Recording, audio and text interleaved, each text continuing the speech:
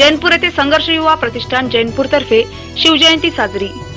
दर्यापूर तालुक्यातील जैनपूर येथे संघर्ष युवा प्रतिष्ठानच्या वतीने छत्रपती शिवाजी महाराजांची जयंती दरवर्षीप्रमाणे साजरी करण्यात आली. यावेळी कोणत्याही प्रकारची मिरवणूक न काढता दहशतवादी हल्ल्यात वीरगती प्राप्त झालेल्या शहीदांना प्रथम श्रद्धांजली वाहण्यात आली व नंतर छत्रपती शिवाजी महाराजांच्या प्रतिमेचे पूजन करून कार्यक्रमाची सुरुवात झाली.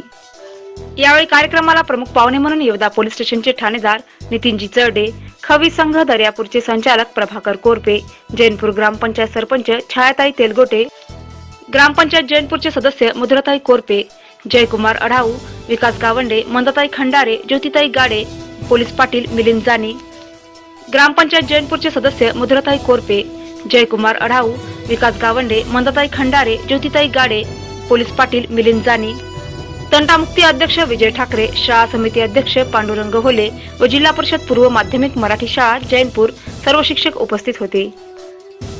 प्रथम मार्गदर्शन करताना नितीनजी चरडे साहेब यांनी शिवाजी महाराजांच्या इतिहासावर प्रकाश टाकला.